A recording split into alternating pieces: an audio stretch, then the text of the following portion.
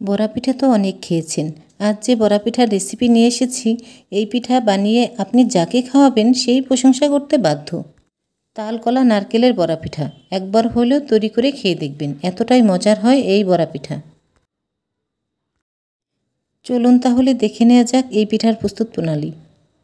দুই কাপ আতপ চালের গোড়া নিচ্ছি।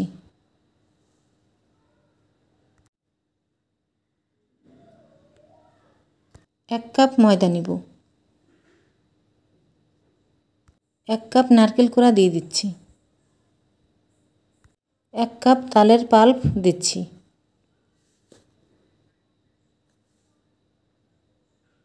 পাঁচটা কলা নিয়েছি, কলাগুলো হাতে মেখে নিব। কলাগুলো মেখে নিয়েছি। এখন দিয়ে দিচ্ছি। এক কাপ গ্রেট করা খেজুরের গুড় দিয়ে দিচ্ছি।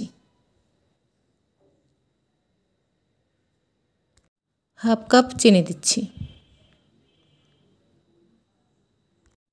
এখন সব কিছু খুব ভালো করে হাতে মেখে নেব।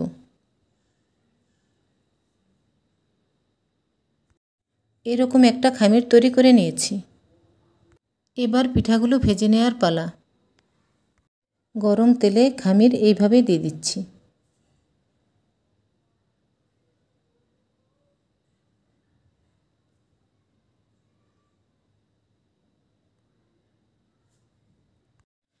এই পিঠা ভাজতে চুলার আঁচ একভাবে থাকবে, কমিয়ে বাড়িয়ে দেওয়া যাবে না। চুলার আঁচ মিডিয়ামের চেয়েও একটু কম রেখে ভাজতে হবে।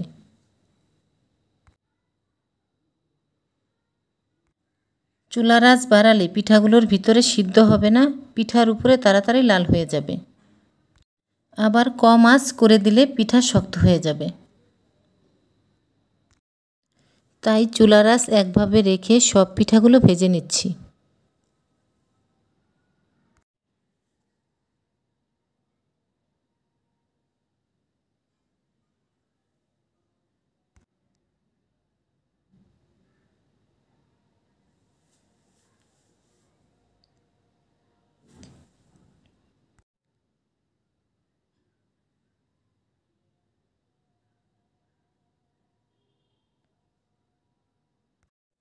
তৈরি হয়ে গেল অসম্ভব মজার তালকলা নারকেলের বড়া।